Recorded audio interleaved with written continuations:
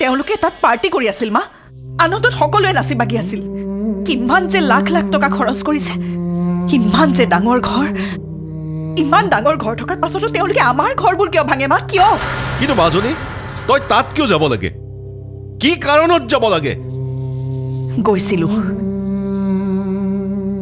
তেওঁলোকক উপযুক্ত উত্তৰ দিবলৈ গৈছিলো। মই কলো শুনিছিলো তহঁত বহুত ধনী মানুহ।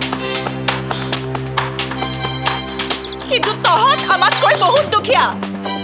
আমাৰ ঘৰৰ মুধচবোৰ ভাঙি তহঁত সুখত থাকিব পাৰে বুলি ভাবিছ।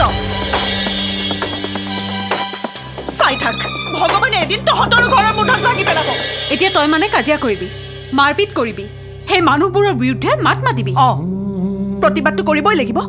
যি মন যায় তাকে কৰি থাকে। সিহঁতক মই সোধাই নেৰো। ইয়াৰ আগৰবাৰ চৰ মাৰিছিলো।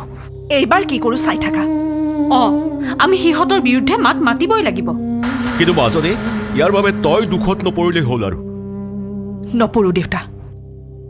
সৰুৰে পৰা দেখোন তুমিয়েই শিকাইছিলা। অন্যায়ৰ বিৰুদ্ধে মাত মাতিব লাগে। অন্যায় সহ্য কৰি যোৱাজনো দোষী। কিন্তু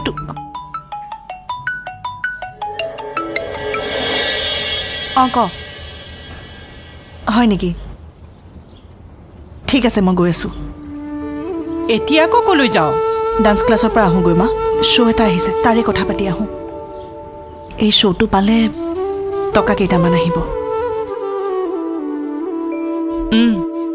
যা কিন্তু অলপ সাৱধানে যাবি। পৰিস্থিতি একেবাৰে বেয়া। চাৰিওফালে পুলিচে টহল দি আছে। মানুহবোৰো খঙত আছে। যিকোনো মুহূৰ্ততে হুলস্থুল হ'ব পাৰে। তুমি চিন্তা কৰিব নালাগে মা। মই আহিছোঁ।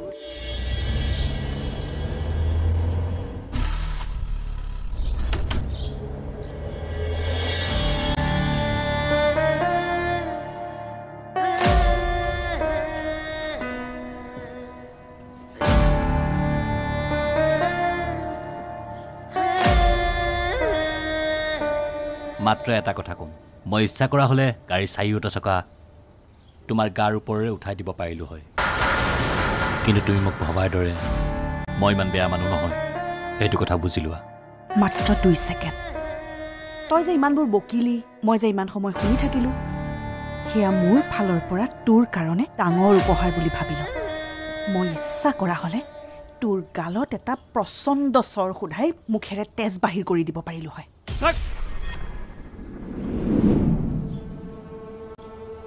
তোৰ দৰে ছোৱালী এজনীৰ লগত মোক চুপতি মৰাৰ মোৰ সময় নাই। মোৰ ৰাস্তাৰ পৰা আঁতৰি যা নহ'লে কিন্তু বৰ বেয়াকৈ পস্তাবি। যা এতিয়া। নাযাওঁ। কি কৰিবি? কি কৰিবি তই হা? মই নিবিচাৰোঁ ৰ'দালি। তোৰ মা দেউতাই এই বয়সত তোৰ আদ্যশ্ৰাদ্ধ কৰক আৰু তোৰ ভায়েৰাই তোৰ তিলনি কৰক। এইবোৰ বস্তু মই বেয়া পাওঁ ৰ'দালি। বেয়া পাব নালাগে। একবাৰ তই হাত লগাইছা। পিছফালৰ পৰা আঘাতটো বান্দৰেও কৰিব পাৰে। বাচি থকা বাওঁ হাতখনেৰে সকলো কৰাৰ মন নেকি? মোৰ নাম ৰৌদালি বৰুৱা। কাৰোবাৰ জীৱন পোহৰাইও তুলিব পাৰোঁ আৰু অন্ধকাৰো কৰিব পাৰোঁ।